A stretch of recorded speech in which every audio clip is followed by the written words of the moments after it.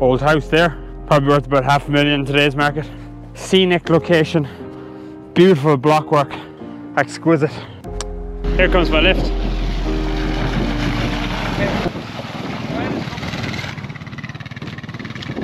So we're on our mountain in South Sligo and we're gathering in the sheep because they're very close to lambing and we have to bring away the twins out of it, plus any sheep that might be thin and need a bit of grass. Twins can't really lamb on the mountain.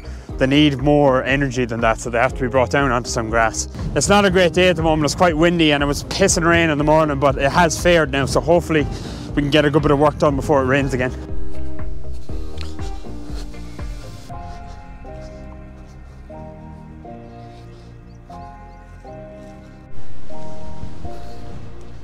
Sheep there looking a bit weak of herself. I'll probably leave her. It doesn't look like she wants to come in with the bunch.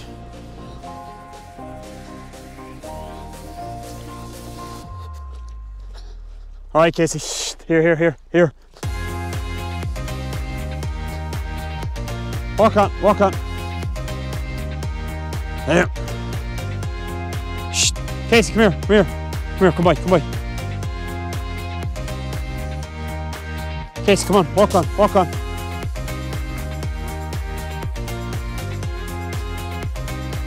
Lie down. Lie down.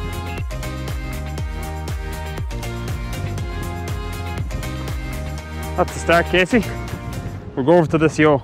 Scratch that plan. That yo's gonna have to wait. Dad is shouting here. He's coming in with the first bunch off the mountain.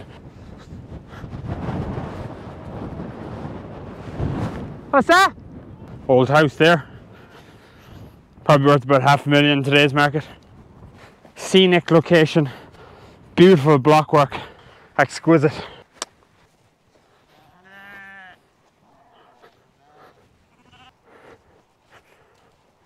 Girl there looks like she's getting a wee bit shook. Hey Casey, Casey, let her go. Let her go. Let her go. Carrying two lambs. No, don't go in there. You give her her time now. If you get too close to her, she'll just duck in for the fence and give up probably. Casey, Casey, come, come. Lie down, lie down, lie down. Lie down. Come on, girls. Come on. Hey, hey, hey, that easy, easy, easy. I don't want them too packed. Don't want to put them under any pressure because the sheep are heavy and lamb. Right, lie there, Casey, lie down. Good girl, well done. Well done. They will be in pretty good shape, are the odd one. Yeah, there is a nice few twins to come out of this, so um, taking them out of it and bringing them to grass gives them a bit more grass. Better nutrition considering that they're going to be having two lambs and rearing two lambs. Dad just rang there and he said to come over to him. He's got a yo over there with, potentially with a broken leg. Jason, here, up, up, up.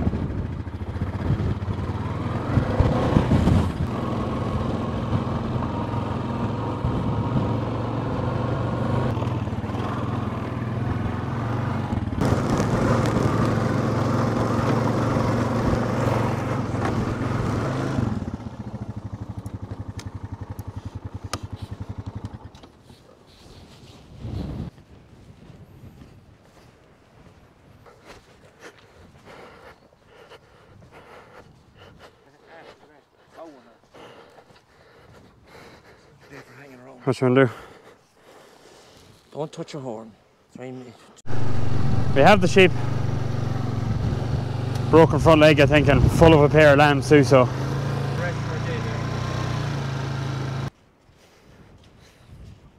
Broken leg, I think. Must have fell off a ledge or something, but at least she's down at the pin now, so. I'm gonna head over and get this sheep now, the one that I left when I was bringing in the first bunch. Question is, where is she now?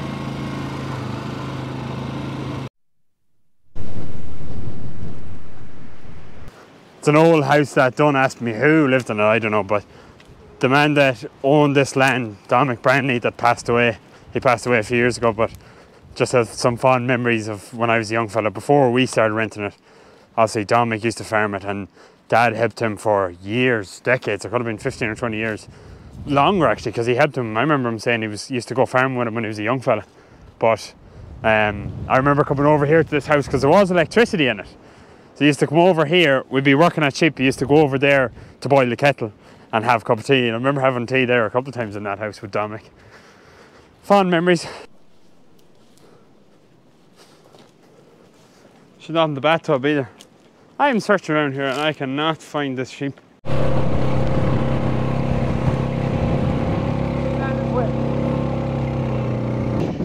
So the battery went dead in the GoPro, but I'm out the mountain.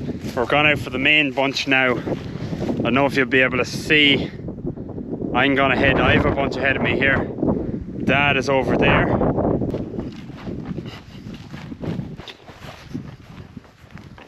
Giving them their time. Twins coming in there with blue shots. There's quite a few twins here. It was a good, good scan up here this year. Nearly too good. Because if you've every twin has to come out of it, so the weather's been hard this month. Like it's just been cold and wet and miserable. So there isn't great growth either. But we'll manage it. We always do.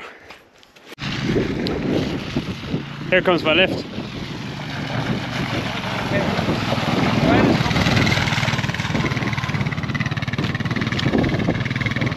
I thought I was getting a lift, but obviously not.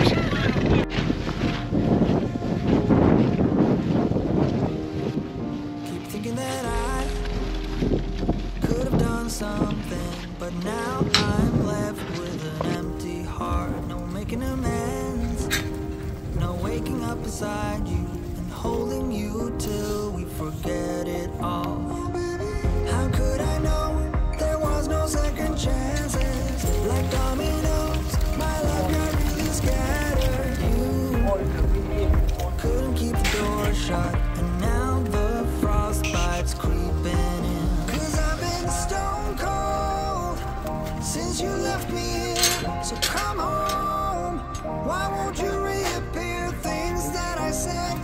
Totally wrong. Can't speak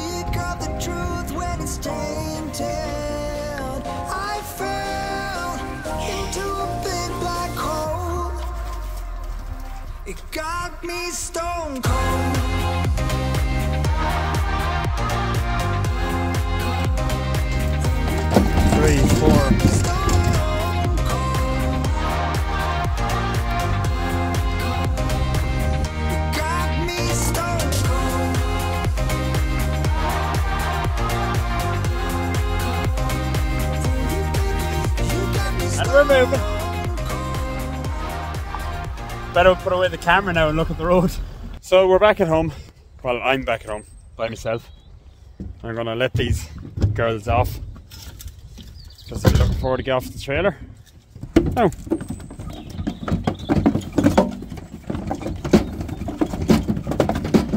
Oh. Parked in too tight to the ditch, Karol. Now,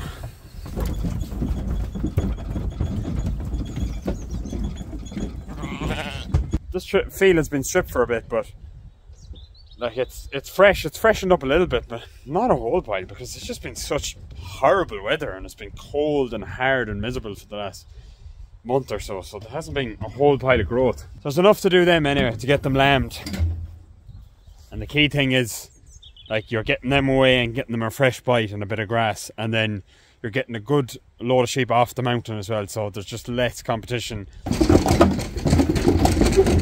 It's a lame sheep we did today. Oh.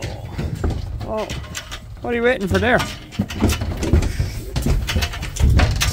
There's one down.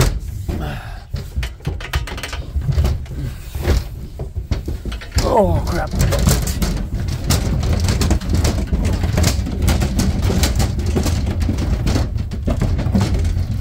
Sheep down there, but lucky she's alright.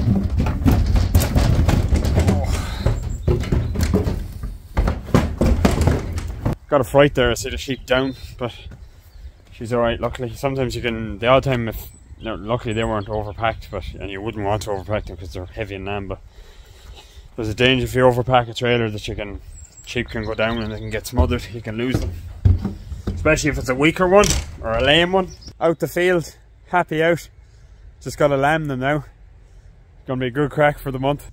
Thanks for watching. See you for the next one.